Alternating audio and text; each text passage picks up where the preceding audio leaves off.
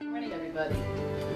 First of all, congratulations, Lori, Jeff, and Chuck for really organizing this program today and also doing whatever you did with the weather gods so that it didn't ice over this morning. But what I want to do is just share with you how pleased I am that all of you are here because in the state of Maryland, you may or may not know that there are over 500 life science. Now, the vast majority of these companies have an average number of employees of somewhere, Chuck, 12, something like that. So it means that the vast majority of them are very early stage. I was thinking about all the mistakes that we had made and how can I share what we learned from those with you so you don't make the same mistakes. So how can I impart that knowledge on you? So what I just think about what is really important to you. If you think about what's really important to you, um, quality, obviously in the business that you're in, quality probably has to be number one because if you have a really good cost to your product, people aren't going to buy it if your quality is not there because we, in the biotech industry, we're looking at products that go into people. So quality is first and foremost. You have to deal with a lot of regulatory inspections and filings. You have compliance. And then, of course, productivity is very important because that's going to drive your cost and how fast that you can get to the market.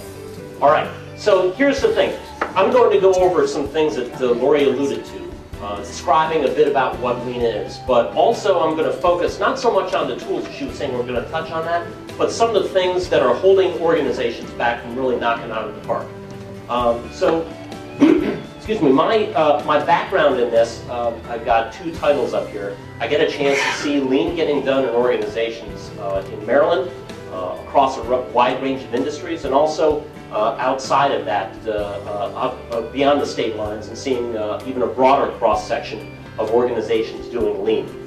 So I hope to translate for you exactly, number one, what Lean is and what some of the secrets are to success with it, but also to help make the translation, what specifically does this mean to you, and how do you apply it successfully inside a bioscience company?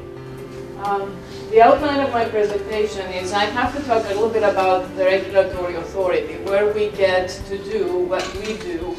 And I'm not going to spend a lot of time on it. I know reading regulations is not that exciting. However, you need to know and understand when we ask uh, certain questions and uh, when we go on inspection and we request that you are manufacturing the subject drug substance or drug product in the applications because it is specified in the regulations.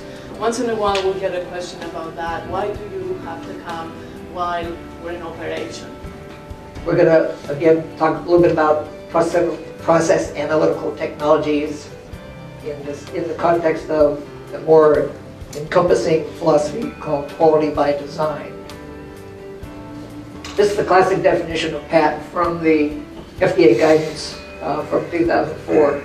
Uh, speaking of PAT in the context of a system for, and this is very important, designing, analyzing, and controlling manufacturing through uh, timely, and it's very critical, timely, measurement of critical quality performance attributes.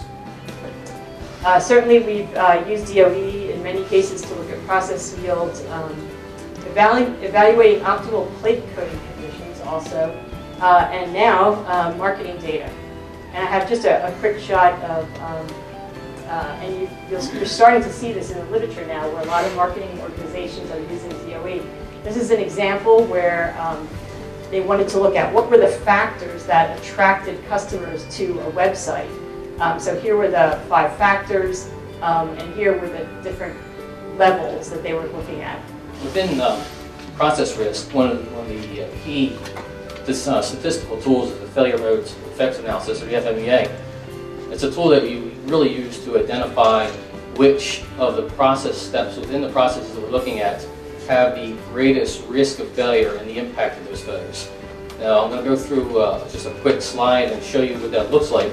But I also had the great fortune this morning when I came to sit down that I sat down at a table with someone who's been running FMEAs in the business for the last year. And I'm going to ask Tim just to uh, talk for just a second about what they've experienced as they've been running these FMEAs. So uh, it's always great you walk into a presentation and you got somebody can step up and help you out with it, you know, from the crowd. So I appreciate that, Tim. I don't think he knew I was going to do that to him.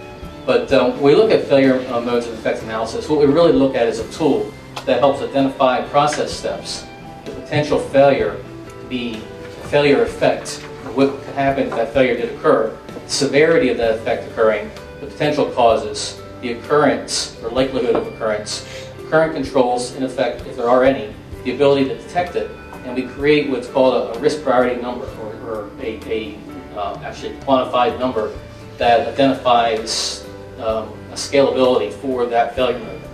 Yeah, I'm Tim Pia. Um, currently a senior director of uh, ESO Bioscience, uh, the company.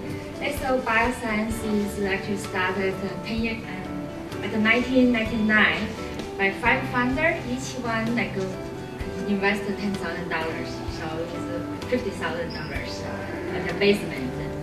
And the technology at the beginning is uh, at that time, 1999, microarray is very uh, popular and also very advanced.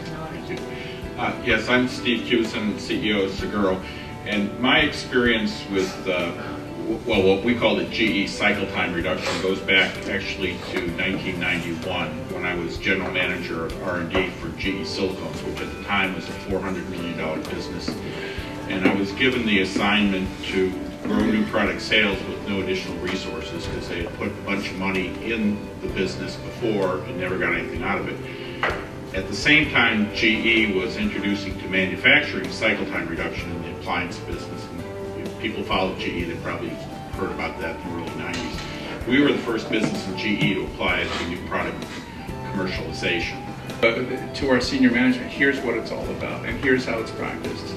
And we sent several, um, out of a, a, a group of maybe 60 or 70 employees, we had three people go to the Lean Facilitator year-long process, and each in a different aspect, in order to really try to ingrain this on people, and that was essential. And even with all of that, it was a constant battle, because the resistors out there, and I like your term, the resistors, boy, they, they were tough, and they were always rallying support to their cause for why we shouldn't do this. And they were very subversive, and we had to root them out wherever possible and get them in a stranglehold and, you know, drag them along kicking and screaming or get them out, get them out. But it was great, and it, I think it added a lot to the bottom line. I think it added a lot of value to the company. Uh, it helped us retain customers. And so, you know, it doesn't matter whether you're the CEO or you're just looking for someone who's trying to get a raise uh, because there's more money on the bottom line. That lean was an essential part of our process and value proposition. I'll leave.